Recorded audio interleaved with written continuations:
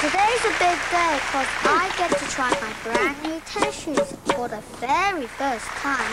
Mom says they were ever so expensive, but I don't care because when I grow up... Accidents can step out of nowhere, so stay alert when driving. Other road users might not be as careful as you are. I want to be just like Michael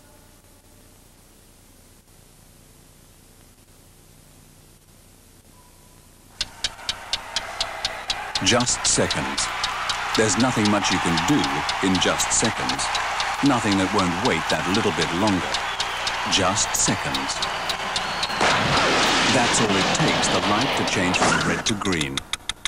So why can't people wait?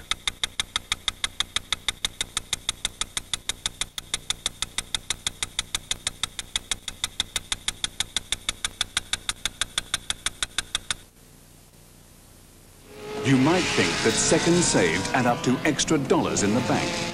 That other road users should keep clear of you and your van.